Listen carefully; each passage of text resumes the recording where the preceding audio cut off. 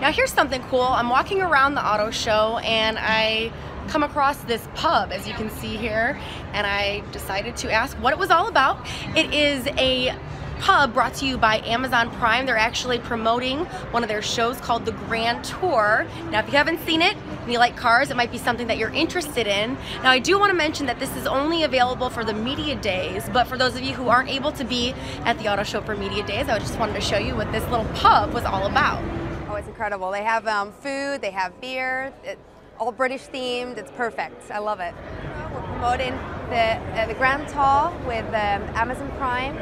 It's the Mayhem Pub. Uh, you can come in and grab a bite to eat or grab a beer. Um, we're promoting the second series.